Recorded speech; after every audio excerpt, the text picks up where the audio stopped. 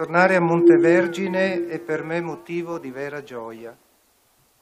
Ho infatti ancora vivo nell'animo il ricordo della visita che ho compiuto nel settembre di due anni fa.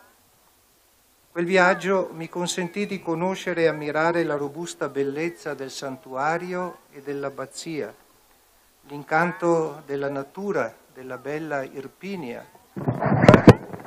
che oggi ho ancor meglio potuto gustare salendo in funicolare, la genuina ed autentica devozione mariana di questo popolo. Ora sono tornato inviato dal Santo Padre Francesco quale suo legato per una circostanza che è particolarmente sentita dai benedettini che custodiscono questo celebre santuario, le solenni celebrazioni per i, per i nove secoli da quando, ad opera di San Guglielmo di Vercelli, nella festa di Pentecoste del lontano 1124 venne fondata l'abbazia. In questa giornata sono accompagnato da una missione pontificia costituita dall'abate Mauro di Subiaco e dall'abate Diego di Monte Oliveto, proprio per celebrare con la città di Mercogliano, con l'Irpini e con tutti i fedeli e i devoti del santuario l'inizio di quest'anno giubiliare verginiano. Vi ringraziamo per la vostra premura e la vostra gentile accoglienza. Rivolgo il mio saluto a lei, signor Sindaco, e la ringrazio per le parole con le quali mi ha dato il benvenuto e per l'onore che mi rende consegnandomi le chiavi della città di Mercogliano.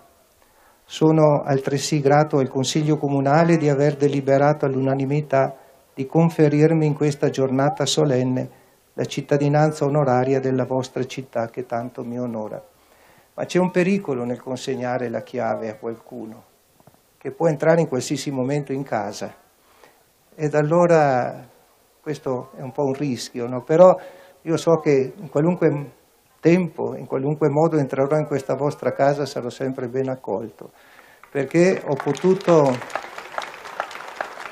ho potuto sperimentare nelle occasioni, nelle varie occasioni in cui sono venuto in Campania, come ricordava il signor Presidente della Regione, tanta accoglienza, tanta simpatia e questi sentimenti e questi atteggiamenti li ho potuto sperimentare anche qui a Mercogliano e al santuario di Montevergine. Saluto tutti voi autorità qui presenti che nei rispettivi posti di alta responsabilità Spendete le vostre energie per assicurare il buon funzionamento delle varie strutture su cui si regge la vita della città e dell'intera regione. La devozione verso la Madonna di Montevergine, che è andata crescendo in me in questi anni, oggi viene rafforzata da questo nobile attestato. Appartenendo anche ufficialmente al popolo di Mercogliano, mi sento ancora più legato da vincoli di affetto al santuario e alla sua abbazia. Mi sia consentito di rivolgere pure un saluto ai membri dell'eccellentissimo corpo diplomatico accreditato presso la Santa Sede che hanno voluto essere qui oggi con gesto di filiale affetto verso la Madre di Dio. Essi rappresentano quei paesi del mondo che hanno accolto, soprattutto all'inizio del secolo scorso, numerose famiglie di campani e di altri emigranti dal meridione d'Italia.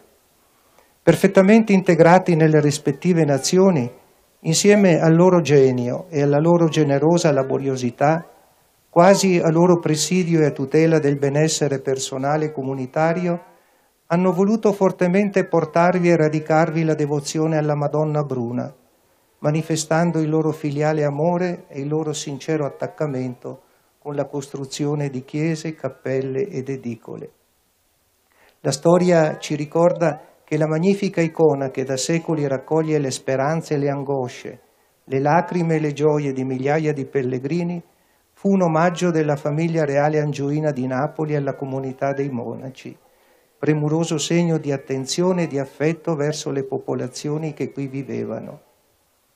Il pensiero del passato, delle sue ricchezze spirituali e culturali e delle sue alterne vicende non ci deve far certo dimenticare i problemi del presente Faccio riferimento in particolare alle varie fasce della popolazione di quest'area e della regione che vivono momenti di apprensione per la precarietà della condizione presente, soprattutto in campo occupazionale.